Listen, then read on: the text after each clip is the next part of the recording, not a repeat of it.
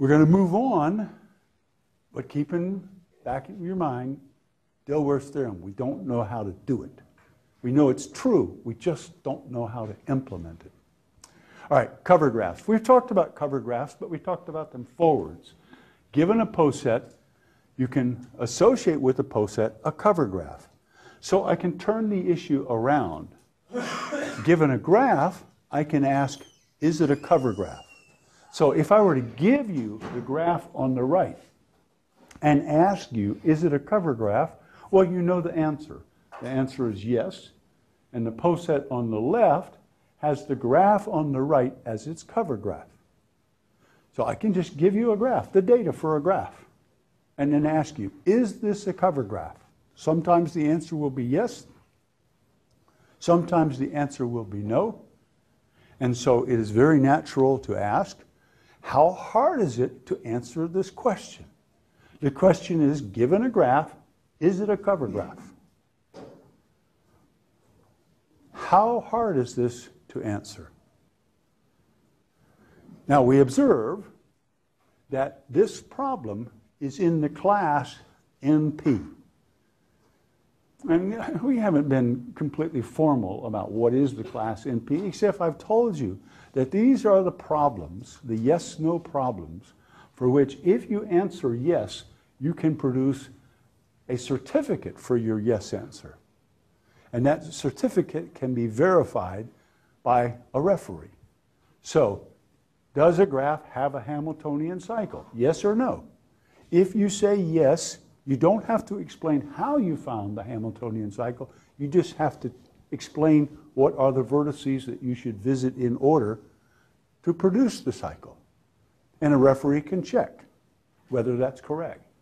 So if you say yes to the question that a given graph is a cover graph, your certificate is the data for a poset. And then a referee takes up data for the poset and determines its cover graph. That's easy. You just find all the covers. So you find all the comparabilities, A less than B, and make sure that there's nothing in between.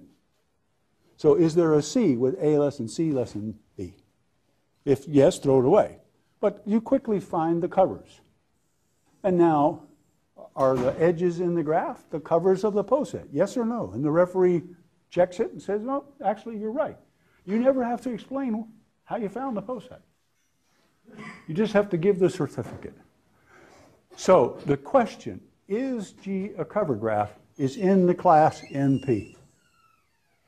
So you can provide a certificate for a yes answer. But for a no answer, you're, you're kind of stuck.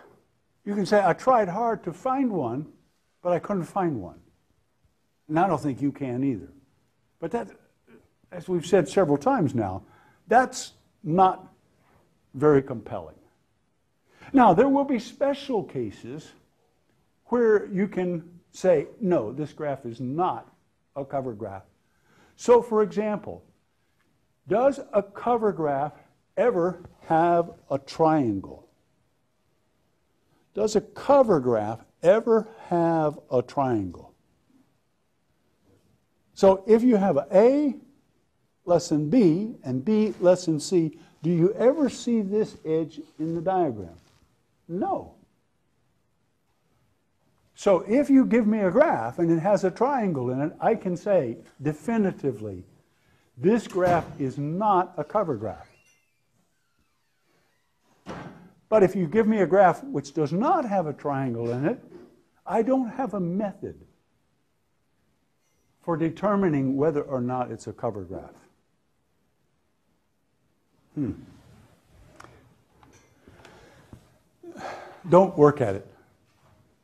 We think this is a very hard problem.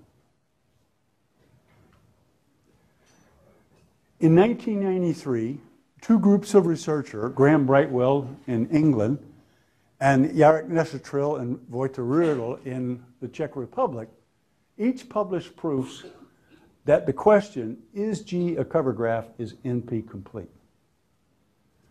So if you find an efficient algorithm for testing whether or not a graph is a cover graph, you have solved P equals NP. You're a million bucks richer. You're famous. Don't forget to tell me about it in advance and all that stuff. So I, I, I want you to know that this problem is hard. I'm, I'm not in any way encouraging you to work on it. In fact, quite the opposite. I'm saying don't work on it. Just tuck it away in the back of your head that determining whether or not a graph is a cover graph is a very hard problem. And of course, my phrase, at least we think so, uh, is rooted in the idea that everybody, not everybody, most people believe that P is not equal to NP. Okay.